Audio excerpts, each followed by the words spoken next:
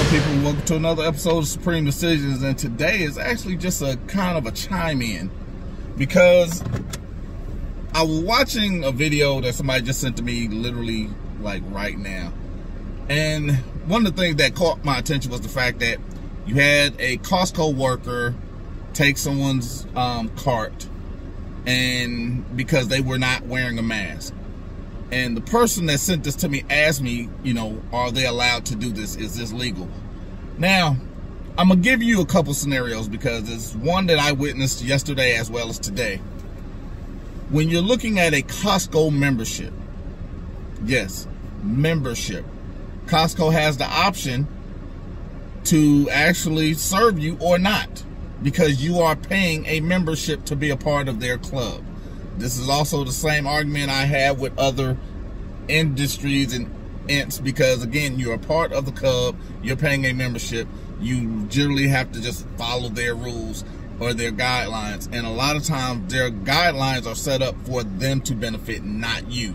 So was it legal or lawful for that Costco worker to take that buggy and not serve them? Absolutely. Now, the flip side of that is you have other stores that are guess saying mandating that. Now, here's the flip side or the difference for that. Now, I walked into Kroger yesterday. As you can see, I'm outside not wearing a mask. That's actually a personal choice. Now, when I walk into Kroger's, Kroger's has a sign as clear as day.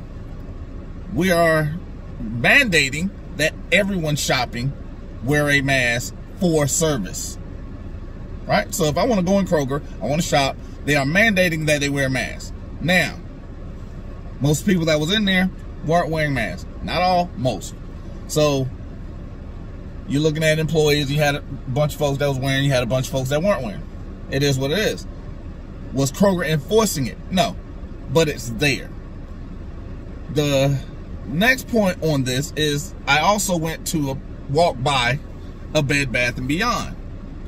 Now, what I found intriguing because it's the exact same conversation I had with um, Governor Greg Abbott. If you're asking for or having a mandate on a policy, because policy is not law, if you're asking for or mandating that it's part of a policy, you have to supply the things necessary for people to comply with your policy in order for it to actually have any effect. So, Bed Bath and Beyond if you don't wear a mask, you can't go into their store. It is what it is. However, they have two people that are lined up at two separate stations. One is for sanitizer and gloves. That's one. The second person is for the free mask. Why? Because when you're going in and you're going to do that, their policy is you can't go in the store without gloves and mask. I get it. It is what it is. However, when you are going in, they are making sure you can comply with. Now, those that did not have glove and mask or did not want to abide by their policy, they brought them things outside. Because again, Bed Bath & Beyond went above and beyond to accommodate those that they serve. And they also made sure that they didn't touch all the bottles and all the other stuff. They had um, the necessary tents and stuff set up, and I thought it was actually intriguing because, again, they had a policy in place. They wanted you to comply with it. In order for them to enforce it, they had to make it available to you. And one of those things making it available to you was if it's part of your uniform, they have to give you uniform.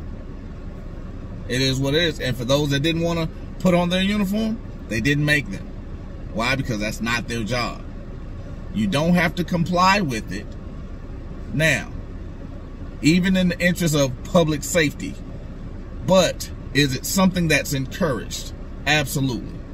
But you also have to understand if you're going to make conscious choices to do something, you also have to accept the responsibility for those things that come along with it. Bed Bath & Beyond has accepted the responsibility of if you're going to wear a mask, we're going to accommodate you for that. If you're not going to wear a mask, we're going to accommodate you for that. But there are two separate instances of how to do it. Just like Costco. Costco is pretty much just like any other employer. The problem is you signed a contract and it's a willful thing. Don't like the contract, don't go. Simple as that. Because if somebody has some compliance issue, or if I was to walk in somewhere and they say, hey, you're not wearing a mask, we don't want you in there. I'm going to ask them, are you going to supply? If they say no, then guess what? They still don't get my money. It doesn't matter to me. It's not that big of an issue. Because if I'm shopping there, I'm spending my money with you. If you choose not to take my money, it's on you. But that's what I wanted to get into. The fact that Costco employee took the buggy from the Costco member, it is lawful and legal. These people, these store owners that have a compliance that they're doing not only for their business but for the safety of others, these are the things that they're doing. Do they have to do them? No.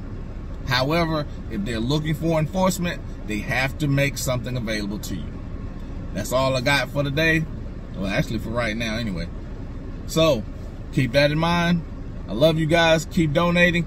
This episode is brought to us by Bernard.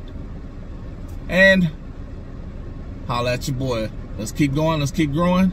And Supreme, out.